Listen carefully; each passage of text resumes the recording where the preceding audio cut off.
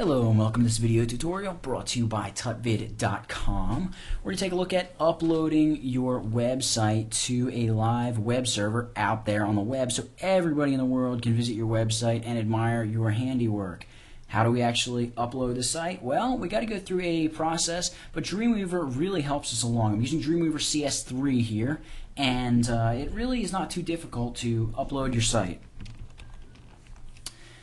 So one of the first things we need to do to set up a site here in Dreamweaver is define a local root folder or define the root folder of our site. Define a Dreamweaver site. How do we do that? Well, it's pretty easy. I've got an entire video actually devoted to how to do it, but I will quickly run over it just so you don't have to go and dig that video out. Come up here to Site, New Site, and I'm just going to stick with the Advanced tab for now. You give the site a name. It can be anything you want. This, this name never shows up on the web. It's just for your own personal use. It can be anything. It can be as horrible, as explicit as you want it to be, and you don't have to worry about anybody finding it and causing all kinds of trouble.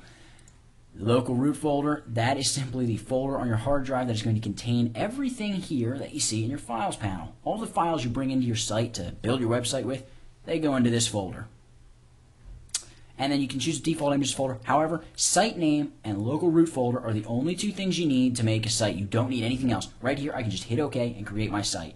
However, one of the things we're going to be focusing on in a short while is the remote info section. This is where you choose how you connect to the web and enter all of your information.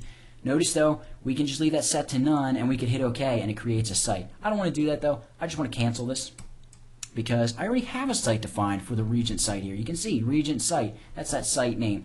We got our local view here. So let's say you've already created a site knowing that you don't need to set up your remote host yet. Let's say you don't have hosting. You haven't set up your hosting yet. That's fine. You can still go and start building your site. No problems. But now you've built the site, you want to upload it.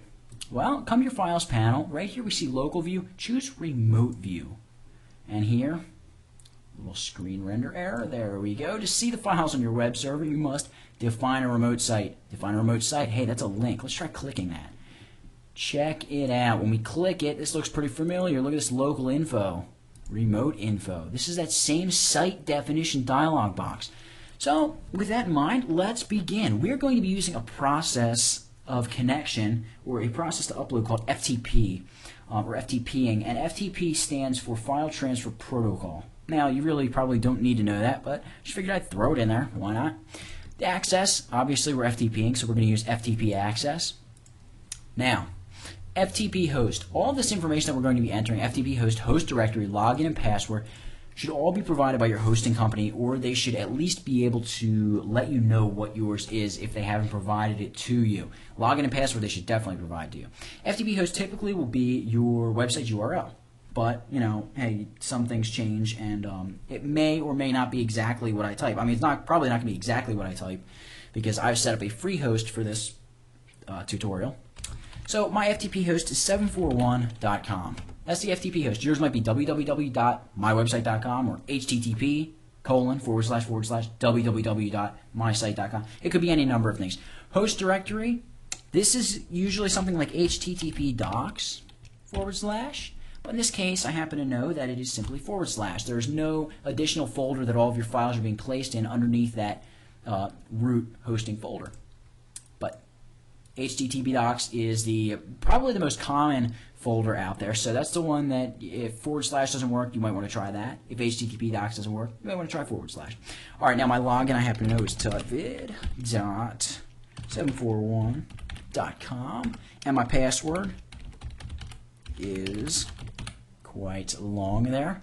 And notice when I put my login info in that the save checkbox becomes active. I can save this information. Now, if you're using a computer that you only use, that you only get onto, and there's no, you know, or, you know, unless somebody breaks into your house and uses your computer, nobody else is really going to use the computer and possibly get onto your website and, you know, hack it, um, or, you know, start moving files around and destroying files, things like that you can save it. It's fine. It'll be a big time saver. Now, if you know if other people are using your computer who might want to get onto your website, or you have neighbors coming over, or friends over, or whatever, or maybe it's a notebook computer even that you're carrying around with you, and you don't want to get it lost, and have somebody open it up and say, "Hey, I can kind of mess up this guy's website." You can just uncheck save, and basically all you will have to do is just punch in your login and password, every time you want to connect to your server. Now, it's just when you connect to your server, not every time you actually upload. So you should be fine there. For the rest of these checkboxes, I would just leave them all default unless otherwise specified by my hosting provider. In this case, I'm going to leave all these unchecked. I'm going to maintain synchronization of information. However, I am not going to check off automatically upload files to server on save. That is not default. Uh, it is not checked off by default, I should say. And thankfully, because what this does is every time you save your file, it uploads the file to the server, whether or not you've actually finished working on it or not. Because Dreamweaver doesn't know, it just knows you saved it. The reason I don't like doing this is because, well, let's say you've got a really popular website and you're working on your home page. Well, I, when I'm working on my site, or anyone else's site for that matter, I save pretty frequently. I like to save every few minutes. And if I'm working on a half finished website, I mean, I don't want a half finished site being uploaded to my home page where everybody can see and be the witness of, you know, lots of shame and embarrassment of, you know, my site half built. So, you know, I do not keep that checked on. I don't think I've ever checked this on the entire time I've ever used Dreamweaver. So I don't recommend that you check it on, but you can do what you want there. Um, and now here we're just going to hit OK. And before we actually connect, I want to go back into there.